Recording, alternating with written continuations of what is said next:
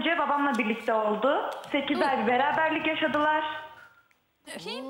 Evet. Onu bilmiyordum. Hiç, Kim bu? hiç öyle bir e, bilmiyormuş gibi tavırlar sergilemesin. Gayet iyi tanıyor beni.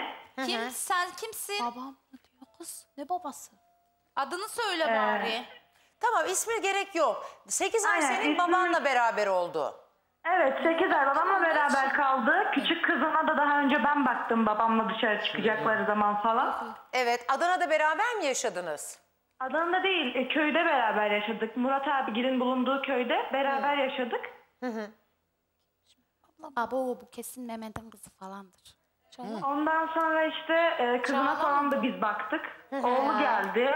Var mı? Günler sonra falan işte oğlu geldi. Evet. Oğluyla falan da İmam ilgilendik ettik. Ha, Çağrı'ymış. Kendisi Çağrı'ymış. babamın kendine ona aldığı altınları alıp bir gece evden gitti.